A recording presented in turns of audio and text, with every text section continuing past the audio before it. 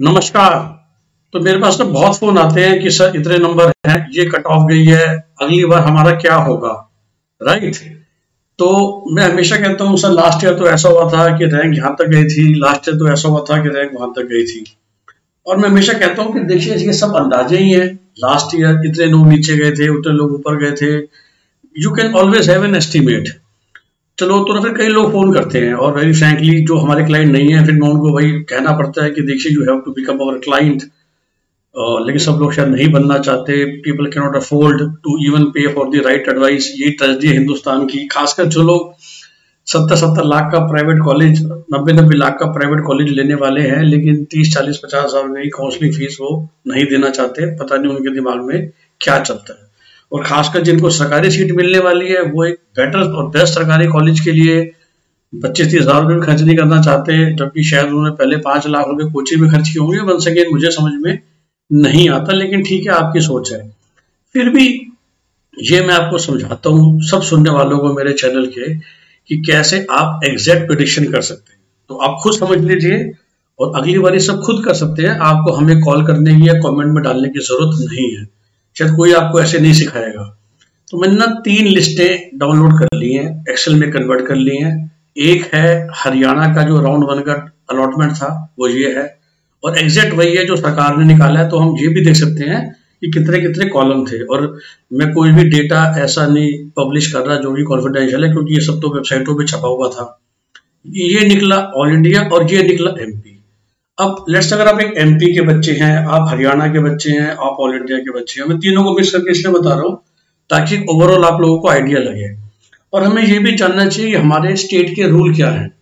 तो जहाँ एक तरफ़ हरियाणा में एक अजीब सा सरकारी रूल लास्ट ईयर आ गया कि 40 लाख रुपीस प्लस और सेवन ईयर का बॉन्ड है अगर आप गवर्नमेंट कॉलेज से पढ़ाई कर रहे हैं। करेक्ट वही मध्य प्रदेश में एक आपको पता है कि गोल्डन थिंग है, जिसको हम मेधावी छात्र योजना और जन कल्याण योजना कहते हैं, कि छह लाख तक अगर आपकी इनकम है फैमिली की तो आपकी पूरी प्राइवेट कॉलेज की फ़ीस सरकार पे करती है।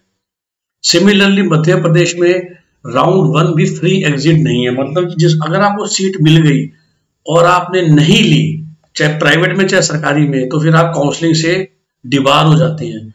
वही हरियाणा में ऐसा कुछ भी नहीं है। ठीक है, इसका फ़र्क क्या पड़ता है? कि देखिए, मध्य प्रदेश की जो अलॉटमेंट लिस्ट है, लोगों ने बड़ी होशियारी दिखाई है।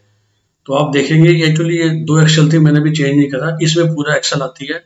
तो ये जो टॉपर बच्ची है, उसने नहीं अप्लाई करा किसी भी कॉलेज में, क्योंकि उसको मालूम था कि शायद मैं मैं मध्य प्रदेश से दीवार नहीं होना चाहती।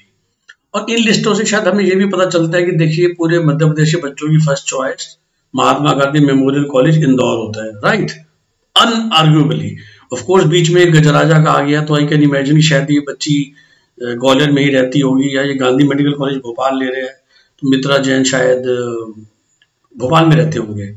और सिमिलरली हरियाणा में अगर आप देखेंगे तो आप देखोगे कि बस पीजीआई और ESI PGI Rohtak famous for quality internal PG quota where ESI medical का ये फ़ायदा है कि आप बॉन्ड से बच जाते हो।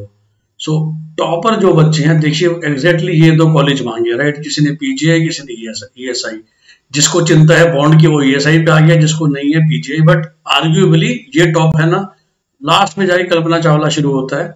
शायद इस बच्चे को नहीं पता था कि भाई कल्पना मतलब एक आध एक एक्सेप्शन तो हर जगह होते हैं। किसी ने देखिए अग्रोहा भी भर दिया है। अग्रोहा में भी ये फ़ायदा है कि आपको बॉन्ड नहीं लगता। लोगों ने अग्रोहा भी देखिए ऊपर भरना शुरू कर दिया कल्पना चावला से, ऐसा नहीं होता था दो साल पहले तक जब तक ये बॉन्ड नहीं आया था। राइट तो इस तरह से चीज़ें ना हर साल बदलती रहती हैं। लास्ट ईयर ये बॉन्ड भी अचानक से काउंसलिंग के बीच में आ गया था, लोगों को समझ नहीं आ रहा था। तो मैं हमेशा इसलिए क्लाइंट से, बच्चों से कहता हूँ कि एक, जब आप इतना बड़ा आपको चीज़ मिलने वाली है तो एक प्रोफेशनल काउंसलर हायर करने में कंजूसी मत कीजिए। हम चाहे कोई और भी कीजिए अच्छा काउंसलर हायर कीजिए, जो खुद दिमाग वाला हो। खैर, इस पर अभी नहीं खींचूँगा तो फिर उसी बात पे आते हैं कि आप कैसे जज करते हैं। अब मध्य प्रदेश से पहले आते हैं। देखिए, आपको मैंने अभी समझाया कि मध्य प्रदेश में बल्कि लोग मुझसे पूछ रहे हैं, जो प्राइवेट वाले हैं। जैसे मैंने कहा ना कि प्राइवेट में भी फ़ीस माफ़ होती है। लेकिन मैंने बोला कि फ्री एग्जिट तो है नहीं। अब मध्य प्रदेश में फिर भी ना हरियाणा से बेटर रिज़ल्ट है। तो मध्य प्रदेश टॉपर है, उसकी नीट रैंक है टू फोर्टी फोर ठीक? मैंने ये देखा कि इसी रैंक के बच्चे को ऑल इंडिया में क्या मिला है। जी हाँ आप देख सकते हैं। क्योंकि ऑल इंडिया वालों ने भी नीट रैंक के हिसाब से रिज़ल्ट दे रखा है। तो आप देखोगे कि भाई 244 रैंक पे एक्चुअली बच्चा है और इसको बहुत अच्छा मिल गया है, क्योंकि इसको शायद एम्स दिल्ली मिल गया है ईडब्ल्यू e एस कोटा है और वहाँ पर भी लिखा हुआ है। सो लो जी, आप कैलकुलेट करने जाओ तो आप कह सकते हो कि ये बच्चा इंदौर छोड़ देगा और वहाँ चला जाएगा एम्स तो अगर कोई बच्चा, अब इस बच्चे तो खुशी से ग्वालियर लिया और लेना ही पड़ेगा, है ना? इसने खुशी से भोपाल लिया है, वरना इसको तो इंदौर मिल ही रहा था। लेकिन जब इंदौर खत्म हो जाता है, कि जब खुशी से मिलना बंद हो गया लेट से last seat of Indore EWS ठीक है? तो इधर से आप क्या करेंगे फ़िल्टर लगाएँगे आप?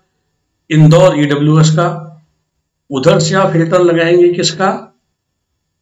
आप फ़िल्टर लगाएँगे कि आखिरी सीट कब खत्म होगी? और आप जज कर सकते हो कि आपको तो शायद इंदौर अगली बार मिल जाएगा, क्योंकि वो जो 244 रैंक वाला बच्चा था, वो तो एम्स दिल्ली चला जाएगा राइट तो इस तरह से आप एक एक बच्चे का देख सकते हो, और जैसा मैंने जब मध्य प्रदेश में सारे क्लाइंट्स को कह रहा था कि आप ज़्यादा उम्मीद मत करो नीचे जाने की, जो भी ये लास्ट सीट खत्म हो गई है ना, उसके बाद अलॉटमेंट शायद सौ बच्चे भी नीचे नहीं जाती, क्योंकि जैसा मैंने कहा, ठीक है, लोग अपग्रेड अपग्रेड के लिए मांग सकते हैं, लेकिन सब लोग सीट ले लेते हैं और यहाँ पर कट ऑफ़ नीचे नहीं जाती for the very simple reason मेधावी छात्र के चक्कर में। वही हरियाणा में तो आपको पूरी फ़ीस पे करनी है प्लस हरियाणा में फ्री एग्जिट भी था तो हर लोगों ने मस्ती में, जिसे मैं कहूँगा, भर दिया। और इसकी वजह से एस जैसा कॉलेज जो कि बहुत महँगा है, उसकी कट ऑफ़ भी बहुत ऊपर गई है राउंड वन में।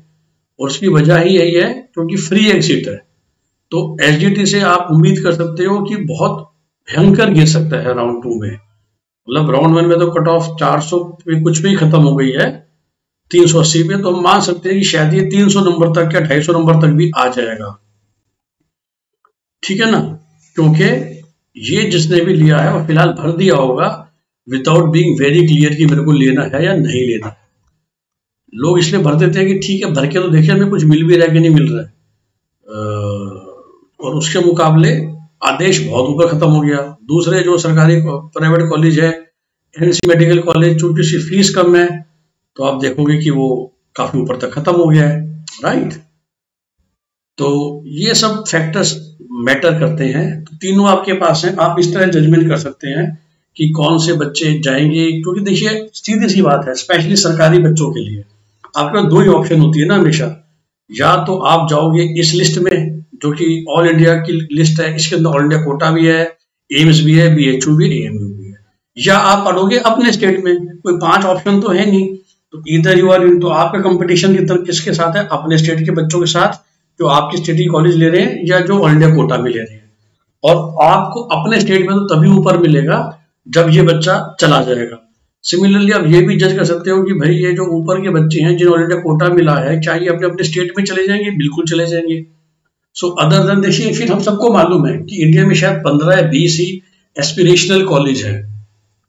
एम्स हो गए पहले छह, दिल्ली के एक्चुअली सारे कॉलेज हो गए एस एम एस जयपुर हो गया, या फिर एक हर एक क्षेत्र में कॉलेज होता है। जैसे भाई मैंने कहा इंदौर के बच्चों की पसंद रहेगी महात्मा गांधी इंदौर। तो अगर उनको स्टेट कोटा से नहीं मिल रहा है ऑल इंडिया कोटा से मिल गया तो ले लेंगे। लेकिन महात्मा गांधी इंदौर बहुत अच्छा कॉलेज है। मैं जहाँ मुझे पीजीएमएस होता तक नहीं भूल पा रहा, या गवर्नमेंट मेडिकल कॉलेज चंडीगढ़ बहुत अच्छा है, पर पटियाला बहुत अच्छा है। लेकिन एक नॉर्मल ट्रेंड रहता है कि ऑल इंडिया कोटा में भी आप तो अपने स्टेट में ही पढ़ोगे ना। मतलब कि या तो आप ऑल इंडिया कोटा में टॉप फिफ्टी कॉलेज मिल जाए, जो मैं हमेशा कहता हूँ कि हमारी वो जो ऑल इंडिया कोटा की लिस्ट है, जिसमें इंडिया की टॉप सेवेंटी कॉलेजेस हैं। लेकिन बहुत ही कम पेरेंट्स हैं, बहुत ही कम लोग हैं जो कि उस लिस्ट को देखते हैं। अक्सर जो मेरे पास आते हैं, सर, हम हरियाणा के रहने वाले हैं ऑल इंडिया कोटा में भी ना, बस नॉर्थ नॉर्थ नॉर्थ में भी बस हरियाणा, पंजाब मैक्सिमम दिल्ली भर दो जी, राजस्थान के भर दो जी, यूपी तो आधे ही भरना जी, बाकी तो ये है, बिहार तक तो जाना ही नहीं है तो वो हो जाता है, और साउथ तो बिल्कुल नहीं भेजना। लेकिन कुछ लोग जो सिर्फ़ क्वालिटी देखते हैं, वो मद्रास के भी चार भर, तमिलनाडु के भी तीन भरते हैं, आंध्रा के भी दो भरते हैं, महाराष्ट्र के भी चार भरते हैं सेट्रा सेट्रा बट इसके अलावा जो ऑल इंडिया कोटा है, वो मोस्टली लोकल चलता है। वो कहने में ऑल इंडिया कोटा है। होता तो अल्टीमेटली हाँ दिल्ली, राजस्थान, हरियाणा जो ये हाई कट ऑफ़ स्टेट है, वो ज़रूर उनके बच्चे इस ऑल इंडिया कोटा का इस्तेमाल करके दूर दूर चले जाते हैं। बट हम सही महाराष्ट्र का बच्चा या मध्य प्रदेश का बच्चा जिसको पाँच सौ अस्सी नंबर में सरकारी कॉलेज मिल रहा है, अपने स्टेट में वो क्यों जाएगा साउथ में, वो क्यों जाएगा मिजोरम, मणिपुर में, वो क्यों जाएगा अंडमान में? सो सर इन स्टेट्स के ऑल इंडिया कोटा की सीट्स हम राजस्थान, दिल्ली, हरियाणा के बच्चे ही ले रहे होते हैं जिनको कोई और सरकारी कॉलेज नहीं मिला। तो इस तरह से इन तीन एक्सेल को जब दो एक्सेल को देख के आप जजमेंट करते हैं कि मैं कितना दूर हूँ, मुझे अगली कॉलेज में सीट मिलने की उम्मीद है या नहीं है। तो मैंने आपको छोटा सा डेमो दिया। मैं इस तरह एक एक बच्चे को आप चेक कर सकते हैं और आप खुद ही भी जजमेंट कर सकते हैं कि भाई कितना नीचे जाएगी। इसमें कोर्स भी लिखा होता है ना, क्या कैटेगरी एलोकेट हुई है सब कुछ लिखा होता है।